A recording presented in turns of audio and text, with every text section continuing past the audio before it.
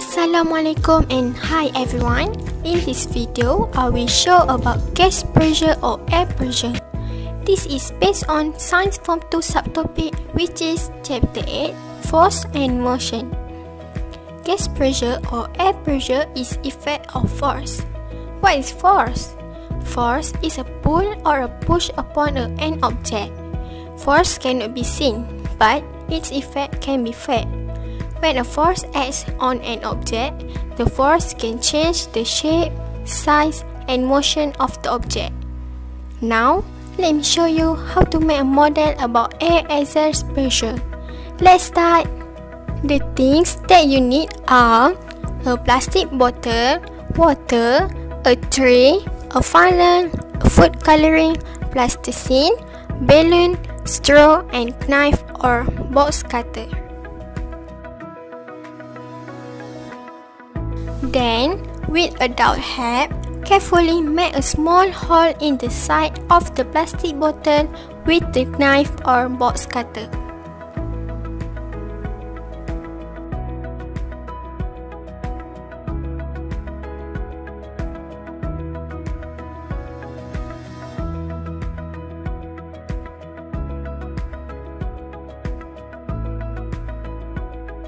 After that, put the straw in the hole.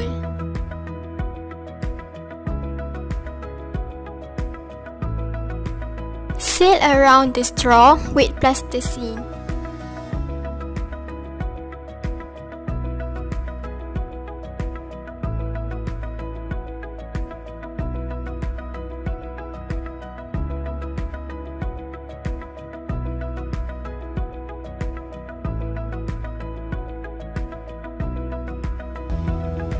Then tidy up the plasticine so the air can't go through the hole.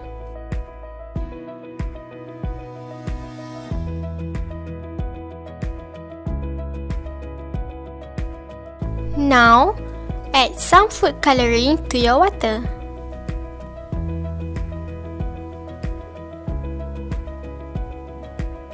Mix well.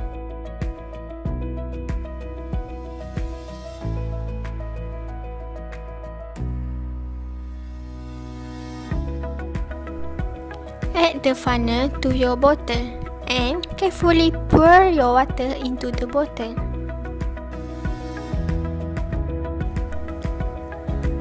Blow up a balloon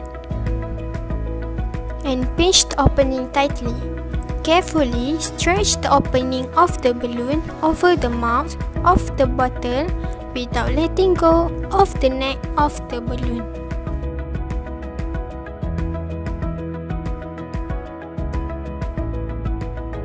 Quickly release the balloon and watch the function stream out. The water will continue to stream outwards as long as both the end of the straw is in the water inside the bottle and that the balloon continues to push air into the bottle. How does this happen? It's all about air pressure. Air presses down equally on the water in the bottle and in the straw at first but attaching the inflated balloon increases the air pressure in the bottle. As it deflates, the air presses down on the water, pushing it through the straw. That's how this happens. Thank you for watching.